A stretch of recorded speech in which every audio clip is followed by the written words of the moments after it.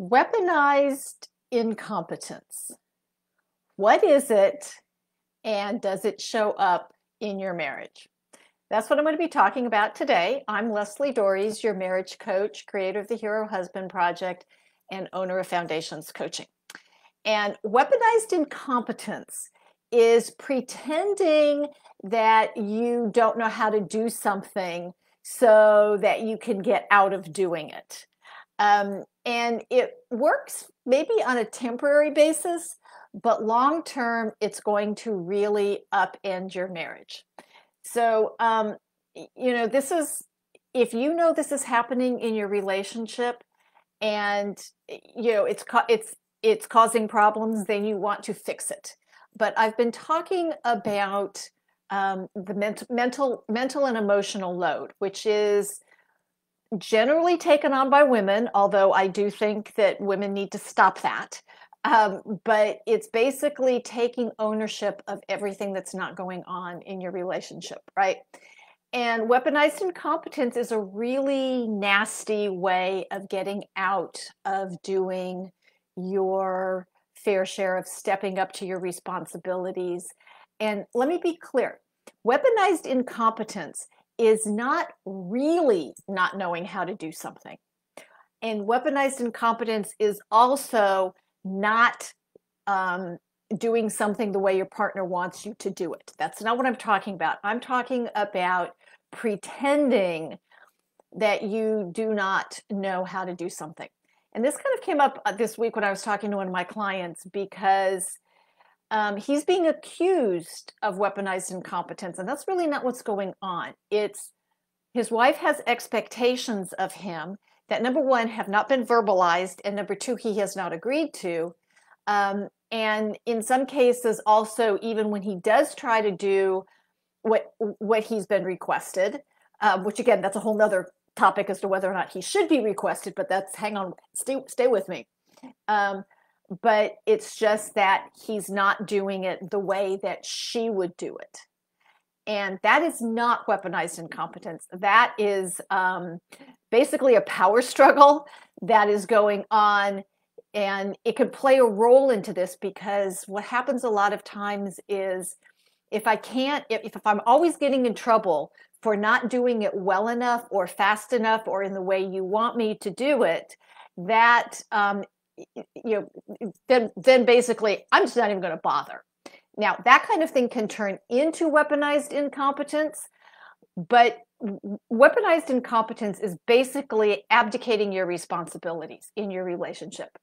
And I don't think that anybody has the right to opt out of a major aspect of their relationship, whether that's parenting, whether that's running the household, whether that's finances, whether that's intimacy, I don't care what it is. If you are part of a relationship, you have a responsibility to be the best partner you can be, which means, and if you're, you know, there are very few of us out there that can't learn to do something.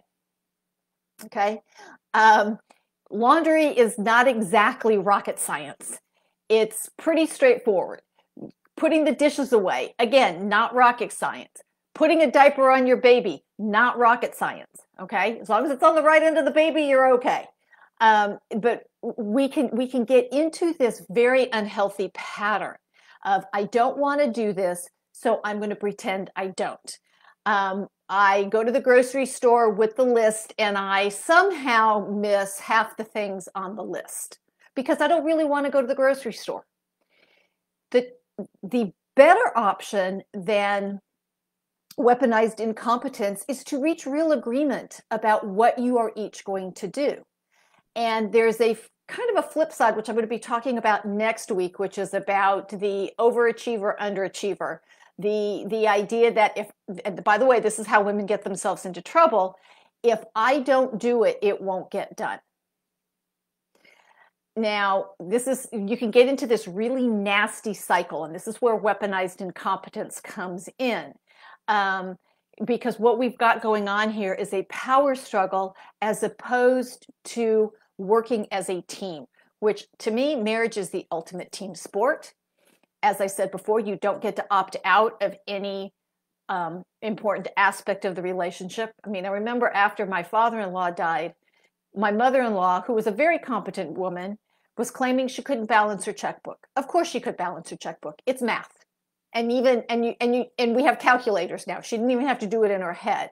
But it was something she wasn't comfortable with because he had always handled the bills.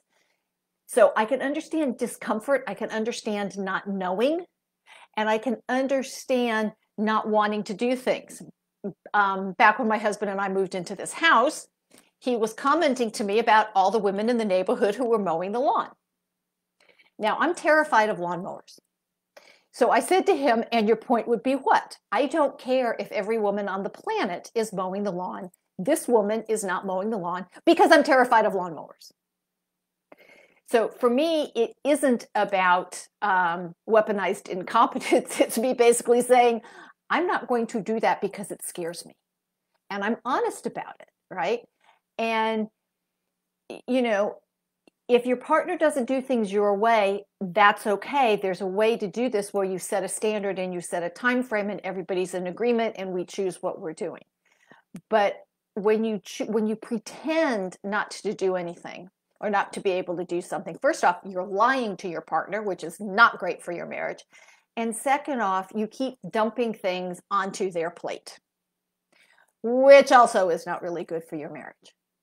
So it's a decision about whether or not you're going to step up and have the conversation now in a productive way or wait until your partner has had enough and they're out the door. Because I'm going to tell you when you weaponize incompetence, those are your two options. And if you don't want to do something, be honest about it and then have a real conversation with your partner about whether or not your partner's okay with doing it or whether or not you want to have somebody else do it or whether or not you just want to agree that it never gets done. Um, but pretending lying and putting things on your partner's plate hmm, not good relationship skills so if you know this is happening, I'd love to hear your comments about this. I'd love to hear because a, a, lot of times people are accused of this and it's basically they just don't do it to the other person's standards, so they just give up, which that's another topic which I'll be talking about next week. Um, but this is a thing where you can really really create serious damage to your relationship because quite frankly you're just being selfish and that's self being selfish has no place in a marriage, not if you want a successful one. So let me know your comments. If you would like to learn more about how to change this dynamic in your relationship, I'm happy to talk with you.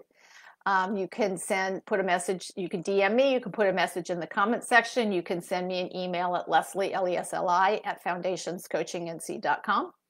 But really, this behavior's got to stop. So until next week, Stay loving.